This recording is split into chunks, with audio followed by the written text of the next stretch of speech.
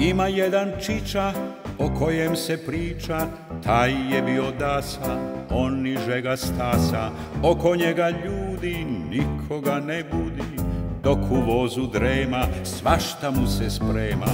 Nije mu odelo po posljednjoj modi, cipele mu preveliki broj.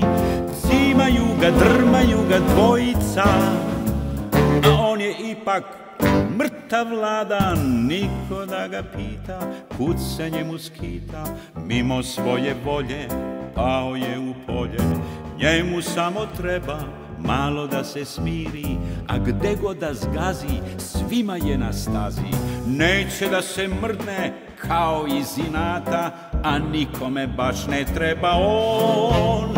A traže ga i unuci i rođaci, dileri i šoferi u gobi Vozaju ga, bacaju ga ceo dan A on je ipak mrtav vladan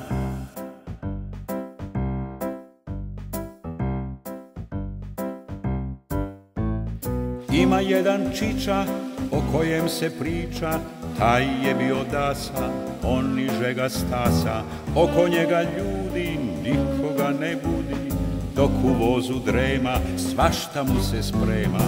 Nije mu odelo po posljednjoj modi, cipele mu preveliki broj. Cimaju ga, drmaju ga dvojica, a on je ipak mrtav vladan.